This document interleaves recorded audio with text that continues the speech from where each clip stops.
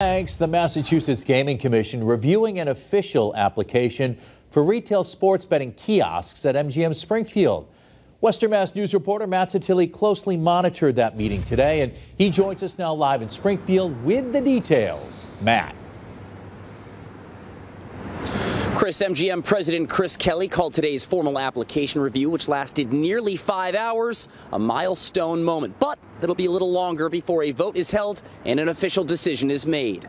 We spent several million dollars to create one of the most compelling sports viewing experiences in the fleet. On Wednesday morning, officials at MGM Springfield met with the Massachusetts Gaming Commission for an application review of its Category 1 sports wagering license for an in person retail sports book. After a sports betting bill was passed by Governor Charlie Baker on August 10th, 15 sports wagering platforms submitted an official application, including three vying for a Category 1 license.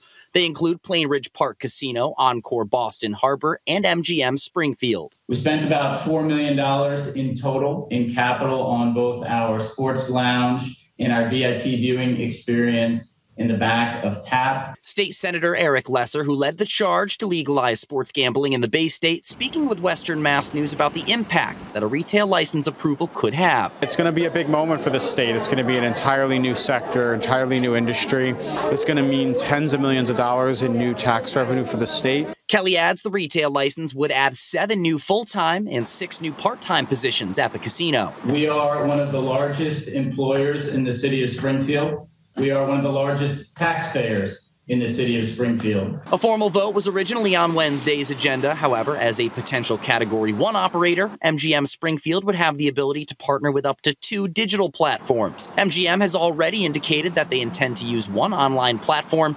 BetMGM, which was established in July 2018. It is a service provider for all of our retail operations in both Las Vegas and regionally. And during Wednesday's meeting, gaming commissioners say it's not possible to conduct a complete review of the application without examining the online platform first. In terms of um, a full evaluation and um, deliberation on the application, I'm just not prepared to do that uh, today without having the benefit of the review of the BetMGM application. Plainridge Park Casino's formal application, which was reviewed yesterday, resulted in a similar outcome because of the online platform. A formal review date has not been set for the BetMGM platform, although in today's meeting, the Gaming Commission official said it will likely take place sometime next week. We'll keep you posted as soon as that information comes into our newsroom.